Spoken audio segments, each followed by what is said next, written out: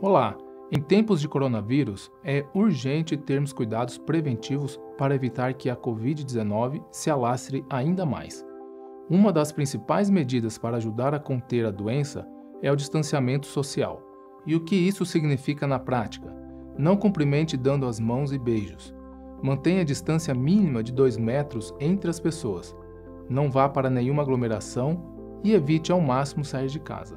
Tudo isso diminui as chances de contágio pois ajuda a prevenir o contato com pessoas infectadas e também diminui as chances de transmitir a doença. Isso suaviza a curva de transmissão, ou seja, reduz o número exponencial de novos casos simultâneos.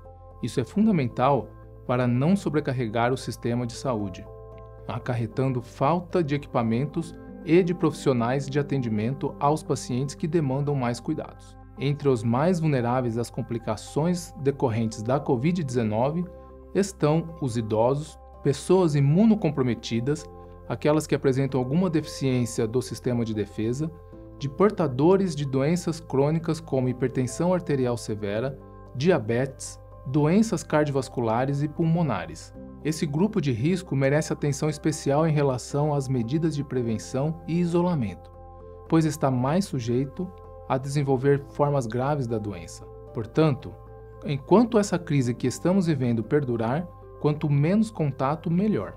Além do distanciamento social, é preciso manter os hábitos de higiene e prevenção de infecções respiratórias. É só seguir as orientações que você já deve ter ouvido diversas vezes a essa altura. Higienize frequentemente as mãos. Se proteja ao tossir ou espirrar. Evite tocar os olhos, nariz, boca e não compartilhe objetos de uso pessoal. Outro ponto muito importante: na ausência dos sintomas, não use máscaras. Elas são indicadas apenas para doentes não transmitirem a outras pessoas e para equipes de saúde para o atendimento de casos suspeitos e confirmados. Usar sem necessidade é contribuir para a falta de equipamento para quem realmente precisa. Lembre-se, se formos disciplinados nessas ações, reduziremos o avanço da pandemia Fiquem atentos, se protejam e, muito importante, mantenham a calma. Obrigado.